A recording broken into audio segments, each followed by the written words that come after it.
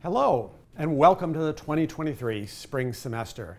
As I do every year, I've just released a letter briefing our community on the state of the university. I hope you will take the time to read it in full. Three years after the novel coronavirus appeared on the scene, Princeton's residential scholarly community is almost fully restored to its pre-pandemic state. Our campus is pulsing with vital energy, personal interaction, and creative inspiration.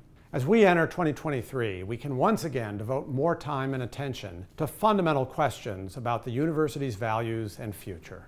Among the most profound of those questions is how Princeton and other liberal arts research universities should adapt to the challenges of rapidly evolving technology, including information technology and artificial intelligence. Computer science, data science, online media, and machine learning are changing how we read, write, learn, think, communicate, and socialize. They are altering the world's capacities and problems, and with those, the issues that universities must address to prepare students for the future and deliver the research that our society needs. In this year's letter, I reflect on the extraordinary impact that online media are having on our minds and society, and about how the new communications environment poses a fundamental challenge to our civic life and to truth-seeking institutions, including colleges and universities. Questions about technology's implications for Princeton's mission may be increasingly vivid and urgent, but they are not new.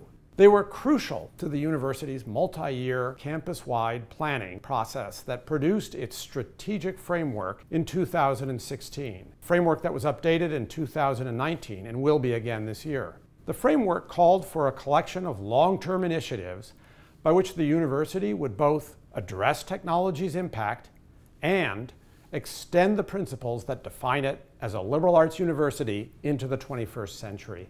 These initiatives, now well underway, are reinforcing the excellence of Princeton's core teaching and research enterprise across multiple fields and in every division of the university. We are reaching more students from more backgrounds. We are opening the university up to more collaborations with academic and non-academic partners. We are enhancing Princeton's commitment to service, and we are increasing our capacity in engineering, computer science, and related fields. Speaking of engineering, I also talk at some length in this year's State of the University letter about our efforts to strengthen Princeton's School of Engineering and Applied Science. At Princeton, engineering is integrated into the liberal arts ethos of the university.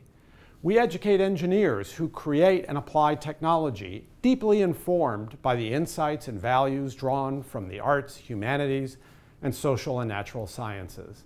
And because all of our students are encouraged to take courses in the engineering school, we can educate leaders in other fields who are competent and comfortable with technological issues. Of course, we can't contemplate the year ahead without preparing for a decision in the affirmative action case now pending before the Supreme Court. I end this year's letter with some reflections on that important topic. Racial diversity is essential to Princeton's academic and scholarly excellence, both because we need the outstanding talent that exists in every sector of society and because we value the learning that occurs when people with different experiences and backgrounds interact with one another. If the court imposes new restrictions, we must of course comply, but we will also be creative and persistent in our efforts to preserve and build upon the diversity of our scholarly community. That diversity is a source of great strength to this university, and it will be essential to our future and the future of this country. I am grateful to all of Princeton's faculty, students, staff, and alumni for the love, engagement, and support that you give to this university. I look forward to working with you to extend Princeton's distinctive liberal arts model to confront the challenges and seize the opportunities of a technological era that is reshaping our world.